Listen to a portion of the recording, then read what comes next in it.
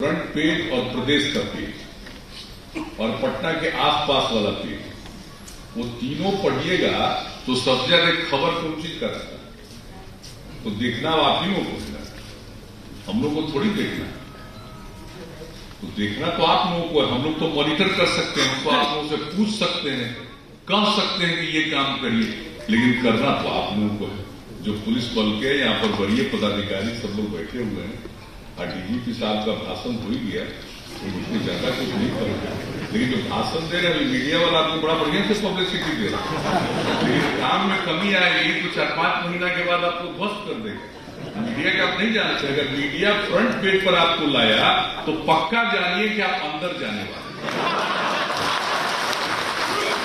सरकार की छवि है, वो तो क्राइम कंट्रोल से ही सुधरती है।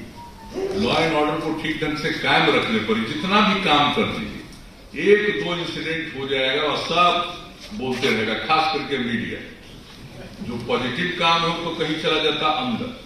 छोटा छोटा दो चार लाइन में दे देंगे, ऐसा थोड़ी कि नहीं देते। दो चार लाइन भीतर के किसी पेज पर जिस पर किसी की नज़र नहीं जाएगी लेकिन कोई घटना होगा तो देखिए फ्रंट पे।